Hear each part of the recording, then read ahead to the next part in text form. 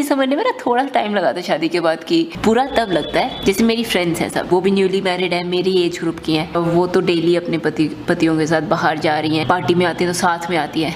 मेरे साथ ऐसा नहीं होता। I go alone most of the time मेरे को इसमें बुरा नहीं लगता। मतलब पहले लगता था, फिर मैंने मतलब ट्राई किया कि गौरव चलने लगे। बट ये नहीं चलते हैं क्योंकि ये इतने बिज़ी हैं यार उनके साथ फ्लाइंग भी है यूट्यूब भी है एडिटिंग भी है, ये भी है, फलाना भी, सारी चीज़ें करनी है।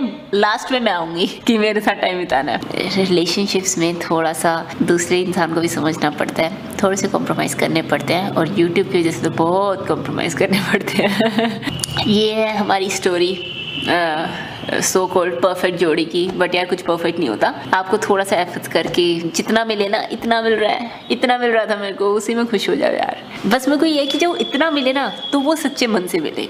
उसमें कोई दिखावा ना हो, उसमें कोई फोर्स ना हो कि ये मेरे को ज़बरदस्ती प्यार कर रहे हैं, क्योंकि मैं इनके सिर पर खड़ी हूँ कि मेरे को प्यार करो। एक बहुत ज़्यादा इंपॉर्टेंट चीज़ डिस्कस करता हूँ आप लोगों के साथ, जब बेबी होता है ना, जब आप जब भी कपल बनेंगे, जब भी आपका बेबी होगा। So husband specially they feel a not neglected during first two two to three months क्योंकि माँ का सारा टाइम बच्चे के लिए होता है। मतलब ऋतु अभी सोई एक घंटे के लिए, बच्चा सारी रात जगाता है तो जब बच्चा सोता है तो माँ सोती तो आपके लिए टाइम है ही नहीं बीवी के पास। Most of the extra marital affairs like 80 to 82 percent of extra marital affairs happens have a baby it looks थोड़ा काउंटर इंट्यूटिव कि you should be more attach as a couple but fact is और number से that तो husbands को अपना थोड़ा सा ख्याल रखें और ये देखें कि भाई जो संतान आपकी बीवी पाल रही है, वो आपकी भी संतान है और आपसे ज़्यादा ही मेहनत कर रही है वो। तो अपने आपको थोड़ा कंट्रोल में रखिए बिकॉज़ क्या है ऑफ़िस जा रहे हैं, बाहर जा रहे हैं, बीवी के साथ तो टाइम मिलता ही नहीं बीवी के पास, आप बीवी के पास आपके लिए बात करने का टाइम नहीं, भाई साहब प्यार प्यार दूर की बात है।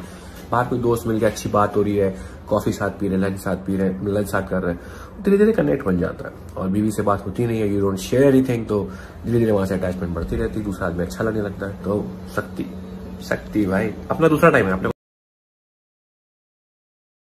बहुत दिन से सोशल मीडिया पे सुनने को मिल रहा था फ्लाइंग बिस के डिवोर्स के रिलेटेड तो मैं सोच रहा था कि फेक है, लेकिन अभी आपने देखा हस्बैंड वाइफ ने क्लियर ऑफ़ किया कि मैटर क्या था। तो आपने दोनों का सुना, दोनों ने अपनी बात रखी कि असली मैटर क्या था इसके ऊपर आप क्या कहना चाहते हो कमेंट करके बताइएगा ज़रूर। तो अभी विश्वास नहीं हो रहा है कि ऐसा कुछ मैटर हो गया, क्योंकि जब भी हम ब्लॉग इनका देखते थे तो दोनों साथ मिलकर ब्लॉग बनाते थे, लेकिन भाई सबके ज़िंदगी में क्या चल रहा कोई अपना फेस टू फेस ब्लॉग में थोड़ी बताएगा। फिर फ्लाइंग विश ने एक ट्वीट भी किया, जैसा कि आपने ट्वीट को देखा कि अपना फैमिली मैटर को सोशल मीडिया पे लाना नहीं चाहते और इस मैटर के बारे में वो कुछ नहीं बोलेंगे। इनको जितना हेट दे दो, कोई मतलब नहीं है। ये सब इन्होंने अपने ट्वीट में लिखा और बोला कि आखिरी में मर्द ही गलत होता है। इसके ऊपर आप क्या कहना चाहते हो? कमेंट करके बताइएगा ज़रूर। फैमिली मैटर सबके साथ होता है। आई होप ये दोनों का फिर से सुलह हो जाए, दोनों साथ में रहे।